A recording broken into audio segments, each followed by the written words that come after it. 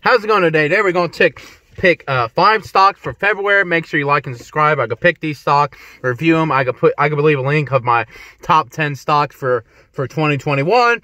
We're going to get right into it and everything like that. I mean, I, I, can I'm a growth investor. I kind of grow. Well, I hate to label myself as anything because I do do that, but that's kind of what this channel is. It's kind of trying to find the next Tesla or say, I hate to use that term, trying to find the next something or whatever. But anyway, I kind of look at these stocks as potential uh, changing. They're growing fast. Every single one of these are growing fast, leader of the industry. And we're going to get right into it. Um, the first one is Airbnb. Airbnb. I mean, it's a, I mean, this thing's growing like a weed. I mean, we all know what Airbnb, uh, Airbnb, I don't know why I keep calling it Airbnb. I think that's the ticker symbol, I think. But anyway, we all know what Airbnb does. I mean, think about you rent your houses, you know, I mean, vacation homes. And I think this is going to get popular. I think the trend is in America, and let's sit back and, and think, and we can critique this and, and think about it. I mean, but I think the trend is a lot of people are going to buy homes and a lot of people won't. And what I mean by that, it'll be very diverse. It's like the K-shaped kind of recovery. Because think about it. A lot of people are buying houses today. You can talk to any real estate agent. It's hard to buy a home right now. It's really, really hard to buy a home. Not because, you know, you can't get the loan or whatever. It's not really financial. You can have the money. And people still can't.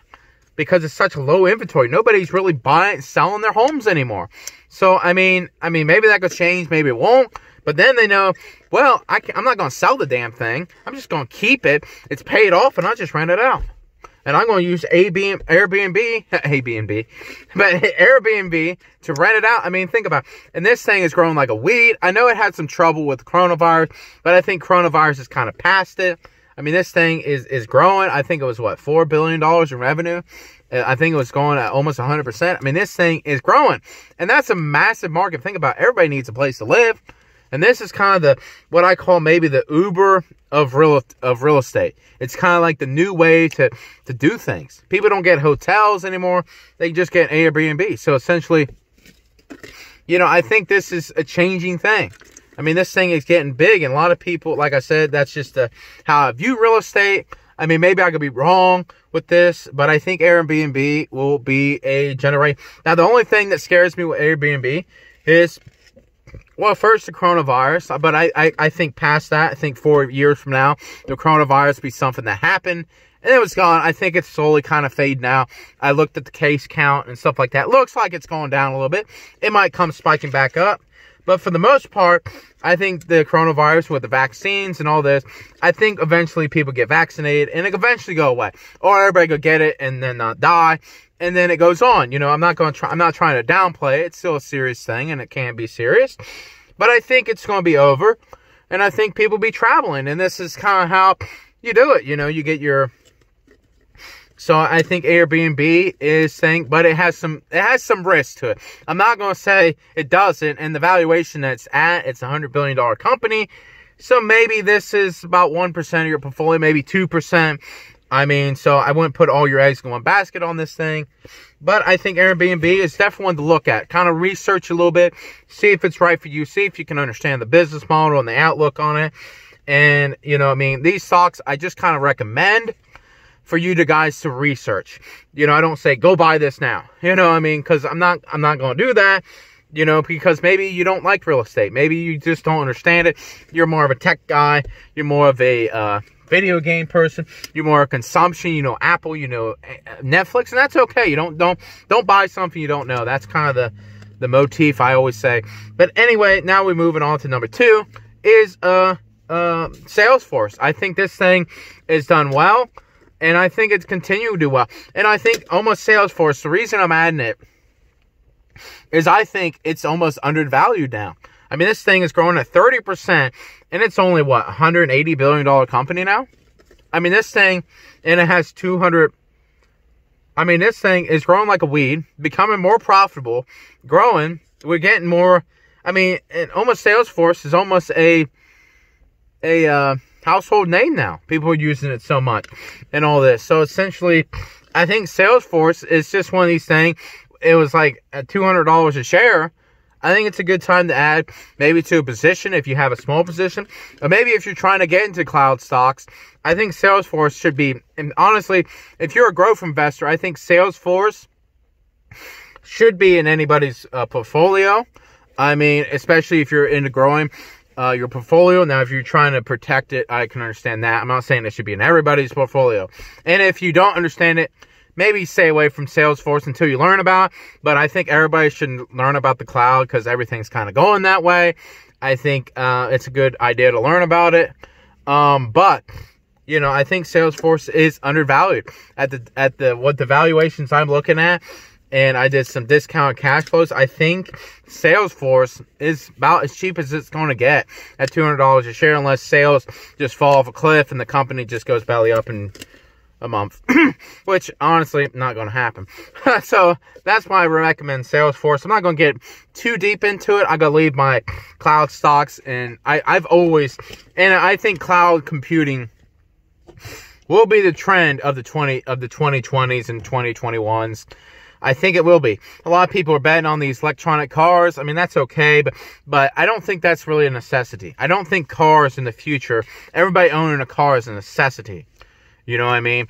When you when there's alternatives like Uber that can do it cheaper, you know, it, it's gonna be we're gonna sit back and, and think about Uber and and you know the robo taxis, which kind of a you know, I mean which is kind of weird. So, uh, but I think everybody's going to use cloud computers and digitalization. That's why I picked Salesforce, and that's why I kind of steer away from some of that them trends, like with the the the electronic vehicles and stuff like that, or the everything like that. Now the next one is Zillow. I haven't recommended this one. It's been kind of a pick that I just kind of missed on it. I, I haven't really, I mean, you know, haven't, it was been a mistake not to recommend it. I've always came across it and I was like, you know what, am I going, Zillow, I, no, no, no. And now I'm going to say, yes, Zillow, at $31 billion company, I could recommend this at like 10, but I, I didn't. It was kind of a mistake not to recommend it for those years. And I, and I like the company. I think real estate, like I say, you know, real estate, I think it'd be a very widening of the, it's going to be a very, big it's going to be you buy real estate or you're going to rent for the rest of your life. I think that's what it is. I think that's the mentality. It's like marriage. I think people, the people that get married, they're going to get married probably multiple times, or the people that don't get married, they won't get married at all. And it's going to be a very division. And I think that the people that ha- that can get in real estate, I think maybe this is the time to get in real estate. I'm not saying you, you can do your own finances on that. But I think real estate, with the interest rates they are, where they are, I think this is probably goes.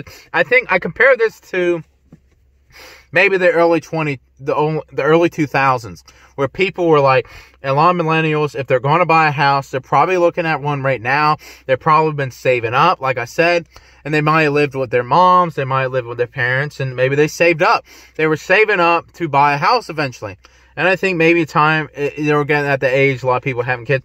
But anyway, I'm going to maybe make a video on that, of the growing economy and what I expect of it and why I think the Dow Jones could hit over 100,000. Maybe I can make a Dow 100,000 video by the end of 20, maybe 2030. I think the Dow Jones could hit 100,000. And I think real estate will be that one. Like, I'm not going to say everybody can buy a house. And I know that. And, you know, that's just, that's just the way the economy works. I mean, but I think Zillow is a good buy here. I think Zillow, and you basically, basically what you're doing with Zillow is it's, well, first it's a website that, I mean, that has, you can look at real estate, you can buy real estate off of it, they can hook you up with agents, they get commission, all that. And then real, and Zillow actually makes, they actually buy real estate and sell it now. So, I mean, and it's all digitalization. So basically what Zillow is, it's kind of like Redfin. It's kind of like uh, FICO that I recommend. Down a little bit, but excuse me. But I think buying those free stocks and put it in your real estate, what I call like the real estate basket, I think over the long term in real estate, as it gets better, I think real estate is going to grow, and maybe I can. I should make a video of why I think the Dow will hit 100,000. It's kind of complex, but anyway, that's my free stocks. It's Airbnb, Salesforce, and Zillow. I hope you like them. Leave a comment if you're going to buy one or you already own one and, and, and talk about how much gain because I know Salesforce has done well and Zillow's done well. Airbnb just recently IPO'd and they were kind of hurting there for a while. And I was like, well, then I was looking at the numbers and I was like, you know what? That's a good company. That's going to last. It might pull back. It's kind of, it has a high valuation. It might pull back. I'm not saying it won't, but I, I think that over long term, I think these stocks will do well. Like I said, I hold them out for at least three years, and I think you should do the same. These are not trades. These are not, it, you know, when I when I say these are the February stocks, these are not stocks that you should buy for February and send it and sell at the end of February. I, I don't. Uh, some people think that's what I do, but I I buy and hold these things like Salesforce. I bought this thing, I think in 2017, and I still hold it. So I mean, it's it was around 70 $60 a share, and that's like a 200 But anyway, that's what I view it and everything like that. And thank you for watching. Thank you.